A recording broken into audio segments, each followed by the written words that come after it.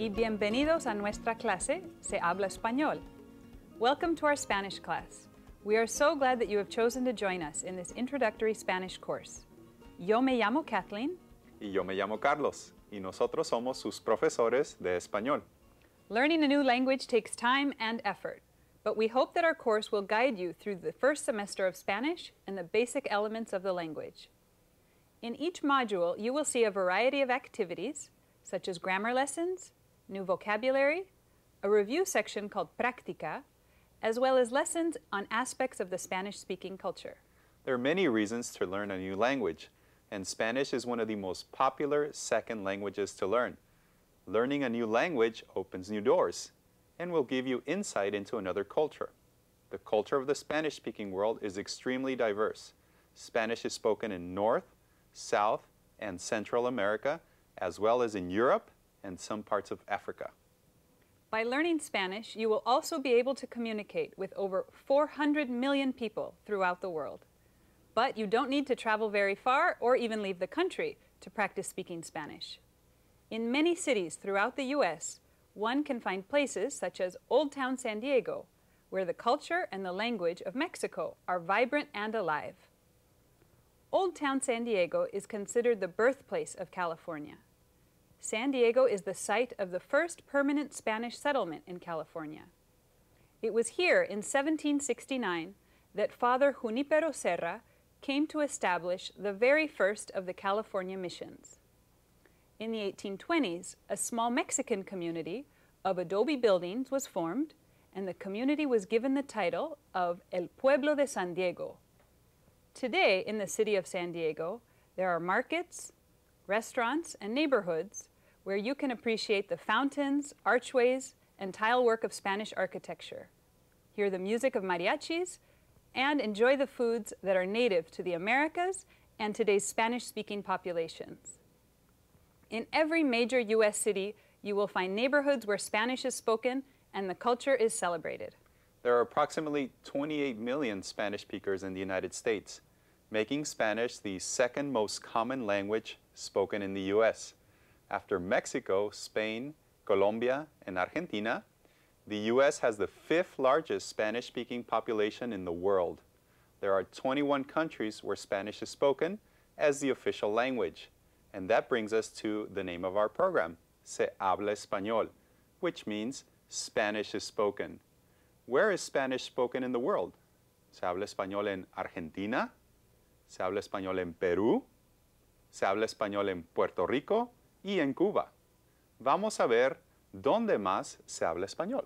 Okay? Muy bien. All right, so we're going to look at some maps, and we're going to talk about the different countries where Spanish is spoken. Muy bien. okay, Let's and start some with regions. let's start with the European continent. Okay, vamos a empezar con ¿Dónde España. se habla español? En España se habla español. Muy bien. Okay, muy bien. Bueno, Spain is a very diverse country in itself. Mm-hmm. Most people in Spain do speak Spanish, but they speak other languages als- as well. Correct. They speak uh, in Catalunya, in the area around Barcelona. They speak Catalan, Mm-hmm. which is a different language. Uh, in the area of Pamplona and San Sebastián, in the Basque, Basque region, they speak Vasco. Mm-hmm. And then in La Coruña, they speak another language, right? Gallego. Gallego. Okay, so yes, not only Spanish. Spanish is the most predominant and it's the official language, but they speak other languages too. So different regions have their own Mm-hmm. regional uh, languages. Is it true to say that most Spaniards are bilingual? Uh, not all. Not no, all. No. Some people don't have a regional language. Correct. Some don't. Yes. And historically, I mean, Spain is very much similar to England in that they, the English came to the U.S., they settled, they brought their culture, their language, and Spain brought their culture, language, and religion to the Americas. They brought it to Mexico, to Peru, to different regions in, in, within Latin America. Yes. And, And they, they were invaded too by the Moors. That's right. There were a lot of people living in Spain before Mm-hmm. the Spaniards even came to the Americas. Who were the Moors? the Moors, the Arabs. So they uh, settled in Spain for close to seven, over 700 years, uh, over seven centuries.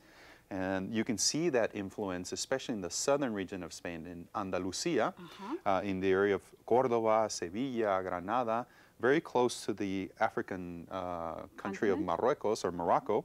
uh, the African continent, and you see the influence everywhere in the architecture, in the uh, in the people itself. Uh, so it's The food, the, the music. food, the music. Yes, very present in that area. Muy bien. So What is there to do in Spain today? What do we? What do young people or travelers cosas. do in Spain? Okay, in Spain there are many places to visit, many things to see. And of course, Madrid, being the capital of Spain, Uh-huh. is one of the most exciting capitals in the world. And so there's a lot of uh, activities to do there, a lot of nightlife for, for people that like that, you know, the type of activity. Sure. There's uh, among the best in the world. But there's also amazing museums. Uh, One of Mm-hmm. my famous, my most uh, uh, favorite museums in the world, El Prado, is in Madrid. Ah, el Museo del Prado. And they have uh, paintings by El Greco, which is my favorite painter. Uh-huh. Uh, they Velázquez. have Velázquez, and very close to there is the Museo de la Reina Sofía, oh, it's the Modern Art mhm, Museum. the Modern Art Museum, where they have uh, paintings of Picasso and, and Dalí, and so Miró. Muy yes, many many artists. So Madrid, plenty to do. You can catch football, uh, soccer games, football. Ah, football. uh, That's the national bullfights. sport, That's isn't it? the national sport. Correct. Uh-huh. Correcto. And bullfights as well. That's probably second on the list. Sí. And you've been to? Have you been to Barcelona? I've been to Barcelona, Okay. sí. ¿Y muy qué, qué te bonito. parece? Oh, es una ciudad muy bonita, ¿sí? Okay. This beautiful city has um, a lot of different uh, architecture styles. What's Mm-hmm. the name of the very famous architect? Gaudí. Gaudí. Yes. Mm-hmm. And the architecture of Gaudí's architecture is present throughout the city, Mm-hmm. from La Sagrada Familia, which is the cathedral, the church that still un- is under construction. How many years? Many, many years oh, it's it's been under since construction. the I believe the early 1900s or late 1800s, and it will not be completed for another you know 10 or 15 years. Mm-hmm. So yes, and there's parks, there's uh, apartment buildings that are all were all designed by Gaudí. By by Gaudí. So yes, the, the culture is there. This, his influence is there everywhere. Muy Okay. bien. All right. Bueno, Vamos a, A México. América. A ¿sí? México. A las Américas. Muy bien. Okay. So the, uh, like we said earlier, the Spanish came, they settled, and Mexico became uh, one of their most important possessions. Yes, okay, As a colony, uh, because of for many reasons. Uh, Natural resources. Natural resources and the cultures that were present there, the Muy bien. labor. The manpower. Mhm, ajá. manpower. And so Mexico became known as Nuevo, Nueva España, Nueva España. Muy the bien. new Spain. And so they brought the culture, they brought the language, and they brought the religion. Okay. But So- really, what we see in Mexico today is a combination of what Mm-hmm. the Spanish brought and what the indigenous cultures already were that Es were here. mestizaje, an influence of this, the, the different cultures, the European plus the, the native the uh, indigenous cultures. cultures. Mhm. So in, within Mexico, you even have different accents, different dialects. You have over 80 different languages spoken in Mexico. So again, more people. There are more languages spoken in Mexico besides Spanish. Correcto, yes. And, these are native languages, indigenous native languages, yeah, like Nahuatl and Maya. So there's many, many, and uh, of course Spanish is spoken everywhere. And but there are a lot of people that are bilingual, even trilingual. They speak more than one language. Okay, and so the places to see in Mexico. Oh, there are so many different types of. Uh, of uh, you know tourist sites that you can visit, from pyramids to the most amazing beaches in the world. Uh, a lot of fascinating things to do. ¿Qué lugares conoces? What places bueno, do you know? I know Cancun, Mm-hmm. ¿verdad? And Cancun I think of as the honeymoon spot because so many people love to go to Cancun for vacations, beautiful beaches of the Yucatan. Mm-hmm. I think it's one of my favorite places in Mexico. When I think of Mexico, I also think about the food. Probably my f- most favorite of all the foods of the Latin American countries Mm-hmm. i- are come from Mexico. And that's very diverse when we talk about food. The food in the north and in the south are all different, aren't they? And again, the food has so much influence from the from the uh, indigenous people Uh-huh. and European too. But we rely on corn. We re- rely on native vegetables and fruits that were that were native to the to the the area to the Americas. So- And there's some very interesting foods that come from Mexico. Uh, chocolate, for. Chocolate, example, right? okay. Something that the whole world appreciates yes. Today is native, fr- uh, native uh, food from Mexico. Exactamente. All Muy right. bien. So Shall we go to another part of the world? Centroamérica y el Bien. Caribe. Okay. Ah, Centroamérica y el Caribe. Not all of the Caribbean countries speak Spanish. No, but of course Cuba, Cuba, being uh-huh. one of the largest Cuba. islands, speaks Spanish. Uh, you have Puerto Rico, Puerto Rico, a territory of the United of the United States. States, and República Dominicana, Muy bien. of course, speaks Spanish. And uh, then in Central America, you have, of course, Guatemala, Honduras, El Salvador. And Guatemala has a big Mayan influence in Mm-hmm. the country. So, and uh, Nicaragua, of course, and Costa Rica and Panama. And I've, I've been to Costa Rica, which is a fascinating country. It's beautiful. A lot of uh, natural parks, uh, which the country has uh, The most national the parks. most national parks probably of, of any, Any country, in the country. world. So it's beautiful there. And Panama, of course, the biggest uh, attraction there is the Canal de The- Panama. Muy bien, the famous Panama Canal. Panama Canal. Uh-huh. And during the construction, a lot of people don't know this, but people were brought in from many parts of the world, from China, from Jamaica, from different areas. So To you build have that canal. to build a canal. So in Panama, you have this cultural um, Mix, mix diversity. that is very, very interesting. Muy bien. So, okay. All right, vamos a Vamos Sudamérica. a Sudamérica. Okay, Muy bien. perfecto. South America. So in South America, again, huge region. And of course, Yes. uh, there are some countries where they don't speak Spanish, like Brazil, Uh-huh. which they speak Portuguese, Portuguese. But then the rest of it, uh, Colombia, Venezuela, Ecuador, Peru, Bolivia, Spanish is spoken there. Mm-hmm. In a lot of those countries, especially in the Andean region, in the Andes region, Uh-huh. they speak other languages too, like Aymara or Quechua, which are Guarani. native Guarani. Uh, and the Incas had a huge presence in that region. So, and uh, Argentina, again, huge country. And there were a lot of immigrants from Italy and that region of Europe that came to Argentina. From Italy, from Germany, from France, from Spain. So we tend to see very fair-skinned people More in European influence. Mm-hmm. southern cone, and we also see a lot of uh, influences in the language, some different uh, expressions and a little bit different accent in that part of the world. Yes. Mm-hmm. Okay, and the same thing with Uruguay. It's very similar to Argentina. Okay, and I've been to Peru. Peru is just a beautiful country. Oh, tell us about Culture Peru. is fascinating. So, and actually, in one of our classes, we will talk about some of the festivals there in Peru. Ah, muy Uh, but it's just a beautiful, beautiful place to visit. So I plan to go back soon. Muy bien. So Okay. after speaking Spanish, you'll be able to join us and visit all of these interesting places. see? Yes. So now let's talk about some of the things you can do to be successful at learning a new language. The first step is to lose any fear you may have about making mistakes. Of course, you will make mistakes. It is part of learning. The only way to learn to speak Spanish is to practice speaking. Use every opportunity to speak and don't be afraid of sounding funny or making mistakes. Some people believe that it's impossible to learn a new language in adulthood. I had a chance to interview a friend who shared with me some good advice about how you can approach your language studies. Let's take a look. Hello, we've invited to our studio today Lee Kirchhoff. Lee is here to talk with us about how an adult learns language. Hola, Lee. Hola.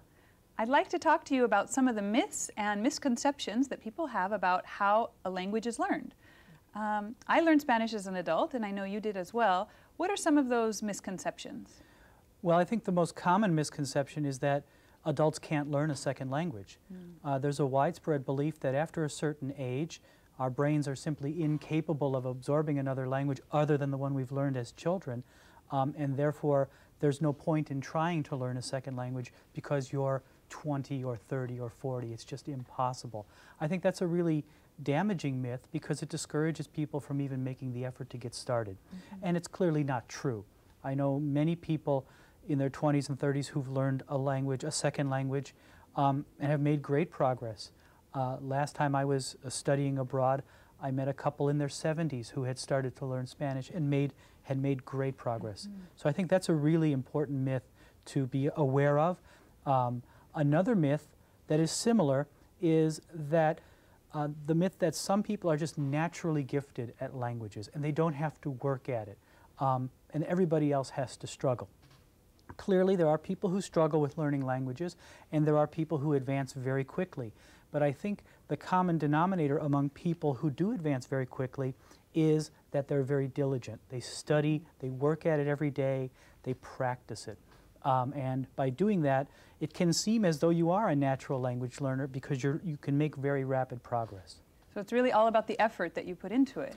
I think so, yes. So, in what ways can we put effort into learning language? What are some practical or everyday ways to, to get good at a language? Yeah, that's the key idea is, is to make an effort that is, that is uh, uh, effective.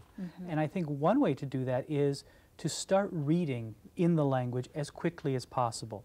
Even, even beginners in a language can read, for example, children's books that are written for very young children um, and make progress, learn vocabulary, learn grammatical structures in a kind of a natural way.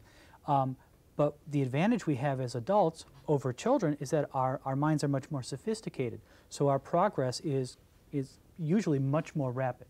Uh, and so, for example, uh, I think an adult learner who is diligent can progress through the grade levels of Spanish texts probably at, at the rate of one year every month. And by the end of a, a year of diligent work, can probably be reading at the high school level of a native speaker. Um, so I think that's one important way to, to speed one's learning of the language. Um, another way, and this is the advantage that we have here learning Spanish in the United States, is that we can take advantage of the large Hispanic speaking population that's here and interact with people. That's the best way to activate your knowledge because uh, you're engaging with people who are native speakers who can correct you. And the best thing you can do when you're trying to speak a language is to make mistakes. Because when you make a mistake and then you're corrected, you'll never forget it. You'll remember it forever. If it's on the page and you're trying to remember it, you may, you may not, depends. But if you make a mistake and you think about it, it'll stick. It'll stay with you. So I think activating your knowledge by interacting with people, uh, taking advantage of all the media resources we have in the United States is also important. There's lots of uh, Hispanic TV stations throughout the United States. Every, every major metropolitan area has a Hispanic radio station. And now with the internet, it's possible to listen to radio stations from around the world uh, or to download even TV shows. And I think this is really important for, for people who are learning Spanish because the one thing you soon learn by exposure to the world of Spanish is that there's more than one kind of Spanish in a way. And that the way they speak in Argentina, for example, is very different than the way they speak in Spain or in Mexico or in Los Angeles or in New York, in Brooklyn. So by exposing yourself to all of these different varieties, they're all similar, they all have the same foundation, but they expose you to the richness of the language, and that broadens your, your uh, experiences of it, I think, in a really important way. Any other suggestions about ways we can learn a language? I think one of the most important things you need to do is you need to work at it every day. You need to do at least something uh, productive in your studies every single day. What I, what I often say to people is that it's more important to study 10 or 15 minutes every single day than it would be to study four hours one day a week. It's a much more efficient use of your time, and you'll learn more in the long run than simply trying to, to do it all at one time. Uh, an analogy I often use is uh, to exercise. Uh, people like to exercise to build their muscles and to get strong and to, to build their bodies. Um, but people who exercise never get to the point where they're, they're in perfect shape and then they can stop. If you do, you start to deteriorate. It's the same thing with languages. The, the more you work at it, the better you get. But if you don't work at it, you will start to lose it and you'll start to deteriorate uh, in terms of your just your facility with the language. So I, I urge people to, to practice as much as they can, to do something every day. Read something, study a point of grammar, watch a TV show, listen to the radio, do something to keep going forward. Second thing I would advise people is um, that you're, a, a language learner has to constantly review. Even when you're an advanced or intermediate stage, uh, I think it's, it's really important every once in a while to kind of go back to the beginning and study the basic structure of verbs and the basic structure of prepositions, adjectives, the, the, the formal grammatical aspects of language, because you'd be surprised how easy it is to, to start to, to make mistakes um, because you're not sure about the fine points. And the, the more you go back and review, the easier it gets, the quicker it gets, and the more it helps you to speak correctly, uh, and that, of course, helps you to learn more. What about grammar? Students are often scared by grammar. What do you think about learning grammar and the importance of grammar in language learning? I'm a big fan of grammar. I, I think it's really important. It can be overdone. Uh, I remember years ago when I was first learning German, which is the first language I acquired after I, my native language. Um, when I was learning German, it's a different language than Spanish. I spent too much time studying grammar. I only studied grammar. Uh-huh. And uh, that was important, but it didn't help me to function in the language. It didn't help me to build my vocabulary. Um, whereas in Spanish, the grammar is somewhat less complicated than German, but still I think grammar is important. There's a common way that, that some people try to learn a language, and that is, oh, I'll just throw myself into it. I'll just immerse myself in the language. Um, and that works for some people, but I think for, for the most part, that can be a very frustrating experience because it's overwhelming. If you know grammar, at least a little bit, it gives you a structure. It, it gives you a sense of, okay, I don't know maybe what that word is, but I know it's a verb, and I know it's functioning in this way. And so that will help you to learn it down the road if you know what part of speech it is. Mm -hmm. But also, I think it gives you a framework in which to think and organize your, your learning of the language. These are wonderful points. Thank you Thanks. so much for sharing them with us. My pleasure. Thank you for being here. Thanks. Bueno, we'll be back in the studio now. I hope you have learned some wonderful tips to help you improve your language, uh, your language skills, and learn Spanish. Those were great ideas. I have had many students who believe that they are too old to learn a language, but that is not true. Some of my best students are older adults who really dedicate themselves to improving their language skills every day. It is very helpful to find places where you can practice speaking Spanish. For some students, it is with a neighbor or Spanish-speaking friend. Other students find it easier to practice Spanish when they are in a restaurant or a market. Wherever it is, the most important thing to do is to practice a little bit every day. Every language instructor has lots of good ideas and suggestions for how students can learn and improve their language skills. We have asked a few people to share some of their recommendations with us. Let's take a look. I would recommend that students practice their learning outside the classroom and that they do this on a regular basis. Uh, in the United States, there are many television programs and radio programs available in Spanish. And I believe that they should take advantage of this opportunity to practice their listening skills. To learn a new language, students need to be surrounded by people who speak that language that they want to learn. I recommend to the students, based on my own experience, to immerse completely into the language. For example, I recommend using sticky notes labeling things in your house. If you forgot, make sure you place it again, the sticky note, on the item that you don't remember. I like the idea about the sticky notes. Tell That's me, a Carlos, very good idea. How does it work? Okay, so you label things at home. Okay. With the little sticky notes and you place it on whatever object you want to learn. Okay. Vocabulary words, for example. So this would be computadora. Ah, so you write on one of the sticky notes, okay. la computadora or el ordenador, uh -huh. and you stick it on. And you label different things, different items. And so the, the objective is every time you see this object, ah. you will look at the sticky notes and try to remember the word. Ah, muy bien. And once you've memorized it, then you're free to take it off. I because see. you already know it. Muy bien. So I could remember that you are el profesor. El profesor. And after I've practiced that and I've remembered it, uh -huh. then I can take off the sticky note and I'll know. You, because you've learned it, you've memorized el profesor. it. Muy bien. And then the ones you have left, you know you have to place more importance on those and ah. you have to memorize and it. if I forget what it is, then I go mm -hmm. ahead and I put the sticky note you back can put it back. Muy bien. Correcto. Buena idea. Okay. So what are some other suggestions? Let's wrap All up right. and summarize some of these good suggestions we've heard from the Very teachers. good. We've seen a few. So let's look at some of these. Okay. Okay, vamos a ver. And the first one is don't be afraid to make mistakes. That's a very big one. A lot of students don't want to say anything until they speak perfectly, and of course that will never happen. They feel intimidated, and especially in classes or when they go to restaurants, they feel intimidated because they feel they're going to make a mistake and people are going to laugh at them. And that's and not true. That's not true.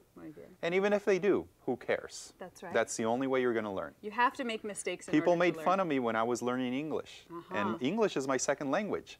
So. And how did you learn? Just by continuing to practice. Yes, but people laughed at me, and that's how I learned. Okay. Okay. That's a good one. Number one. All right. The second, practice every day. And this is one that was mentioned earlier, where it's very important to practice a little bit every day. It's more important to practice 10 minutes every day than to wait and practice for two hours on just one day per week. Correcto. And practicing not only means doing your homework and you know uh, lis- reading your your book, but also going out and practicing with friends, with neighbors, like we said earlier. Uh, a little, a, a few things per day is Finding people will to do a lot. to. Mhm. Yes, Good. correcto. Okay? All right, tercera.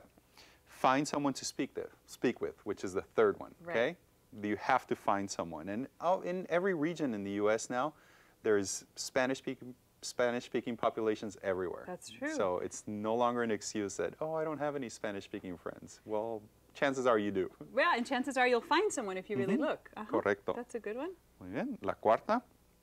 Start reading right away.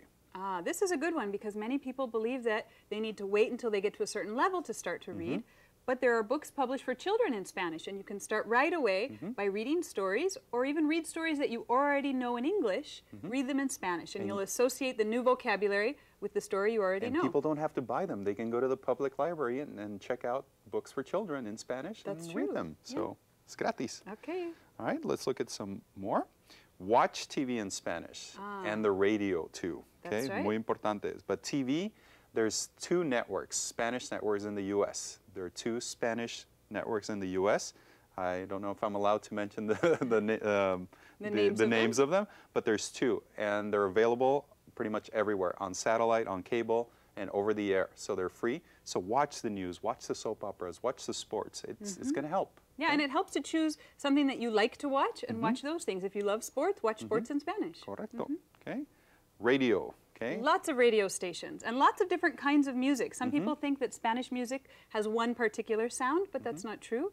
There's all sorts of music in Spanish. Correcto. And listening to music helps people to learn sometimes. You memorize words. Exactamente. Mm-hmm. Muy bien. Review what you have learned. Very good. Don't just keep continuing to move forward. Go back and look at things from previous chapters. Review things you've studied before. constantly. Okay. Mm-hmm. And our last one is immerse yourself in language as much as you can. And that just means surround yourself. Do everything you can to be surrounded by Spanish. Okay. Muy bien. And again, like we told you, Spanish is pretty much everywhere. In the United US. States, we're very fortunate that we have lots of places to practice, lots of people to practice with. The culture, the food, the music, everything is around us. Yes. Mm-hmm. And so that brings us to a close. We, this is the end of our first class, and we hope you will join us for our coming classes. Okay. Que tengan un buen día y nos vemos muy pronto. Muy bien, hasta pronto.